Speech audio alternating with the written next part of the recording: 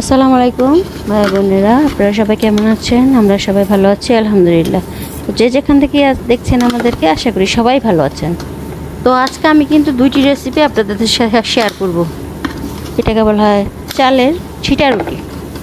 তো এটা প্রায় সব অঞ্চলের মানুষই খেয়ে থাকে, তবে এটা কুমিল্লা অঞ্চলের মানুষ মনে হয় বেশি পছন্দ করে। কারণ আমার হাজব্যান্ডের প্রিয় খাবার এটা। তো এখানে আমি দুই কাপ পরিমাণ প্রায় চালের গুঁড়া নিয়ে নিচ্ছি আর একটু লবণ মিশিয়ে নিলাম। তো লবণটা ভালো মতো চালের গুঁড়োর সাথে মিশিয়ে দিয়ে দিলাম ডিম। আর এখানে আমি ব্যবহার করব দুইটা ডিম ব্যবহার করলে মনে হয়ে যাবে। তবে যদি আপনারা আর একটু সফট করতে চান, সেক্ষেত্রে আরেকটা ডিমও দিতে পারেন। তবে এটা একটু সফট সফট আবার একটু ক্রিপসি হবে। বেশি ক্রিপসি হয় না, এটা সফট সফট হয়। তো একটি প্যানে আমি তেল ব্রাশ করে নিচ্ছি, কারণ এটাকে ব্রাশ করা হেলদি সাধারণত করা হয়। তো আমি এটা ব্রাশ করে নিলাম। তো হাতের সাহায্যে এটাকে ছিটিয়ে ছিটিয়ে দিতে হয়। এটা বানাতে গেলে কিন্তু চারপাশ একেবারে খুব মানে কি বলব, একবারে আজে বাজে পরিবেশ সৃষ্টি হয়। কিন্তু খাওয়ার সময় ব্যাপারটা কিন্তু কষ্টটা দূর করে দেয়। এটা বানাতে আসলে তেমন কষ্ট না, কিন্তু অনেকগুলো বানানোর পরও পরিমাণে কম দেখা যায়। তো ছিটিয়ে দেওয়ার পরে ঢাকনাটা দিয়ে কিছু সময় রেখে এটাকে হালকা মানে টাচ করলেই কিন্তু উঠে আসে। যেহেতু আমার প্যান্টটা একটু মানে নন স্টিকের ব্যাপারটা এখানে কম থাকাতে এটা একটু লেগে লেগে গেছে প্রথমটাই। তা আপনার নন স্টিকের আমি নন স্টিকের পাত্র ব্যবহার করেছি বাট তারপরেও এটা লেগে গেছে, যার জন্য এটা ছিঁড়ে ছিঁড়ে আসবে। আপনাদের প্রথম প্রথম হয়তো বা ছিঁড়ে আসবে আমার মতোই, কিন্তু আস্তে আস্তে দেখবেন যে খুব সুন্দর একটা সুন্দর করে পাখিগুলো হয়ে যাবে। কারণ প্যান্টটাকে একটু তৈলাক্ত ব্যাপার করে নিতে নিতে এইটুকু সময় অপেক্ষা করতে হবে। তো আবার ছিটিয়ে দিচ্ছি।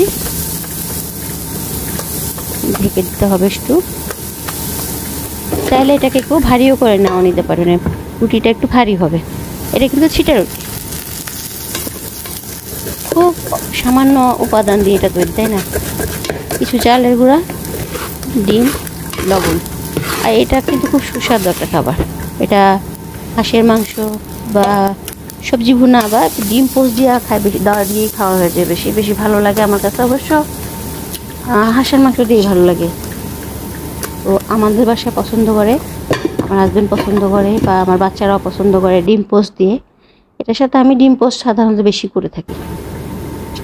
বাসার বাহির বাসায় কোনো গেস্ট আসলো, হঠাৎ আপনি হাতের কাছে চালের গুঁড়ো থাকলে আমাদের বাসায় একটু চালের গুঁড়ো রাখা হয়। চালের গুঁড়ো থাকলে আপনি এই পিঠাটা ঝটপট তৈরি করে দিতে পারবেন। এটা কিন্তু খুব বেশি সময় নেয় না। এটা এইভাবেই উঠে আসে।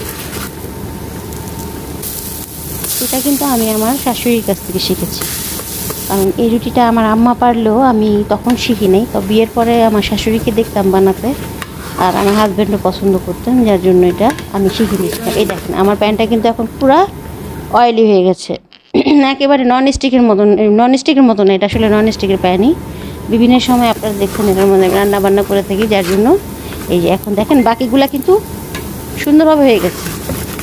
বাকিগুলো ঠিক এভাবেই হয়ে যাবে একটা তো বেশ কিছু সময় লাগে না, অল্প সময়ের মধ্যে কিন্তু বেশ কয়েকটা রুটি তৈরি হয়ে যায়। সুস্বাদু এই চিটা রুটিটা।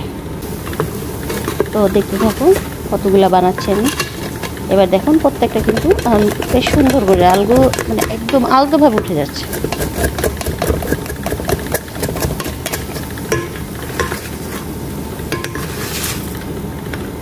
ম্যাশ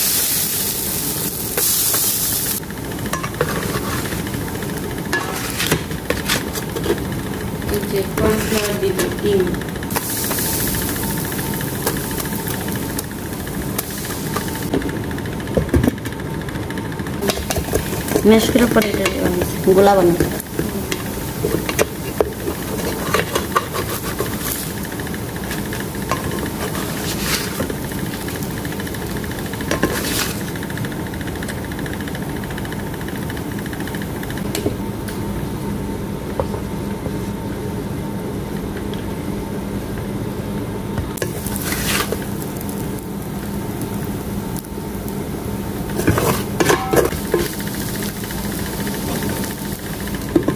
দেখতে পাচ্ছেন, প্লেটের সামনেই। দেখতে দেখতে বেশ কয়েকটা রুটি আমার তৈরি হয়ে গেল। আর খেতেও খুব সুস্বাদু। এখন কিন্তু সবগুলো রুটি বেশ সফট হয়েছে ডিমের উপর ডিপেন্ড করবে এই সফট ব্যাপারটা। এবার আমি যে ডিমের সা- আমি বললাম যে ডিম পোস্ট দিয়ে আমি বাসায় খা আমার বাসায় খাওয়া হয়ে থাকে। আমি খুব একটা পছন্দ করি না, কিন্তু আমার বাচ্চারা বা আমার হাজব্যান্ড খুব পছন্দ করে ডিম পোস্ট দিয়ে খেতে। তার জন্য আমি একটা ডিম পোস্টও করে নিলাম। আসলে বাসার সবার পছন্দের কথা মাথায় রেখেই কাজ করতে হয়, তো আমাদেরকে এটাই আমাদের, বিশেষ করে গৃহিণী যারা তাদের এইটাই মাথা থাকে। বাসায় সবাই কোনটা কি পছন্দ করে। তো তৈরি হয়ে গেলে কিন্তু আমার পুরোটা রেসিপি তো এখন সেকেন্ড রেসিপি আমরা হচ্ছে তালের পিঠা। আমি কিন্তু তালের বড়া বলব না এটাকে, তালের পিঠা। ঘন এই যে দুই কাপ পরিমাণ তালের রস না হলো। আমি বেশ নেড়ে চেড়ে, ব্যাপারটা গরম থাকলে ঠান্ডা করে নিতে হয় একটু। আমারটা হালকা গরম ছিল, তাই নেড়ে চেড়ে ঠান্ডা করে নিলাম। তো এখানে আমি যা ব্যবহার করব, প্রত্যেকটা উপাদান এখানে এক কাপ চিনি নিয়ে নিলাম। তো আমার আধা, আর একটু কাপ চিনি নিতে হবে। হ্যাঁ আর আধা কাপ চিনি নিয়ে নিলাম আমি। তো আসলে এটা কে কেমন মিষ্টি পছন্দ করে তার উপরে ডিপেন্ড করে। এখানে আমি দিয়ে দিলাম পাউডার দুধ, এক কাপের থেকে কিছু কম। পাউডার দুধটা কিন্তু খুব টেস্ট বাড়ায়। আর আমি এটা চালের গুঁড়া দিয়ে করব না, এটা করব হচ্ছে সম্পূর্ণটাই আটা বা ময়দা ব্যবহার করতে পারি। তো ময়দাটা তো সাধারণত আমাদের কোষ্ঠকাঠিন্যের জন্য যথেষ্ট রকমের প্রভাব পড়ে। তো কোষ্ঠকাঠিন্যটা যদি আপনাদের থাকে, তাহলে আপনারা আটা ব্যবহার করেন। আমি কিন্তু আটাটা পছন্দ করি ব্যবহার করতে। এই জন্য আমি আটাটা নিলাম। আর এখানে কিছু চালের গুঁড়া অ্যাড করা যেতে পারে, যদি আপনি এর সাথে ক্রিপসি করতে চান। আর এটা ডুবা তালায় ভাজা হবে। এই যে দেখেন, সমস্তটা ব্যাপার কিন্তু এখানে একটু বেকিং পাউডারের ব্যবহার অবশ্যই আছে। চালের গুঁড়া যদি খুব পরিমাণে না না হয়, তো বেকিং পাউডারটা বেশি পরিমাণ নিলেই হয়ে যায়। ওই যে আমি বেকিং পাউডার দিয়েছি, তো আমার কিন্তু চালের গুঁড়ার আর প্রয়োজন হয় নাই। তো আমার ব্যাটারটা ভালোভাবে গোলা হয়ে গেল। আমি একটু তেলটা গরম হয়েছে কি না এইভাবে দেখলেই বোঝা যায়। এক ফোঁটা দিয়ে দেওয়ার পর দেখা গেল আমার তেলটা গরম হয়ে গেছে, কারণ ভেসে- উঠেছে। তো ফোঁটাটা যখন ভেসে উঠল, তখন আমার তেলটা কিন্তু গরম হয়ে গেছে পর্যাপ্ত পরিমাণে।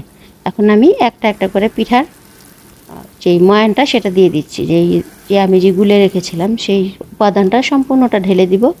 আর এটা কিন্তু যে তেল উপরে ছিটা দেয়, যেমন আমরা লেচি আমরা যেটা লুচি বলি, লুচিটাকে যখন আমরা লুচি আকৃতি তৈরি করে ডুবো তেলে ছাড়ি, তখন কিন্তু আমরা উপরে ছিটা দিলে দেখা যায়, তেলটা, গরম তেলটা যখন ছিটা দিই, তখন কিন্তু লুচিগুলা তত বেশি ফুলে। আমার এই তালের বড়ার ব্যাপারটাও সেম এটা তালের আমি পিঠাই বলি। যেমন বড়াটা কিন্তু আর একটু শক্ত হয়। মানে ময়ানটা আর একটু শক্ত হবে আর এতটা লুজ হবে না, একটু টাইট হবে। যারা বড়া বানাবেন তারা অবশ্যই সেটাকে ভারী পদার্থ তৈরি করে। আর আমি কিন্তু পাতলা করেছি, যার জন্য এটা আমি পিঠার, পিঠা বানাবো দেখে এটা বড় করেছি। আবার অনেকে এই তালের বড়াটাকে বা পিঠাটাকে করে কি, চিনির শিরা বা গুড়ের শিরায় ব্যবহার দেয়। এটা অবশ্যই যারা মিষ্টি পছন্দ করে তাদের জন্য। তো আমি কিন্তু সামান্য বেশি বেশি মিষ্টি দেইনি কারণ মিষ্টির ব্যাপারটা হচ্ছে যার যার পছন্দ। তো ওই যে ব্রাউন কালার হয়ে এসেছে আর কালারটাও সুন্দর হয়ে সবগুলো যখন কালার সুন্দর হয়ে আসবে বুঝবেন যে তেলের পিঠাটা হয়ে গেছে। আর এটা মিডিয়াম মানে একদম মিডিয়াম আঁচে ভাজতে হয়, পুরাটা তেল যেহেতু গরম, তো মিডিয়াম আঁচে ভাজলে কী হবে? ভেতরটাও কাঁচা থাকবে না সম্পূর্ণগুলো সুন্দরভাবে ভাজা হলো। তো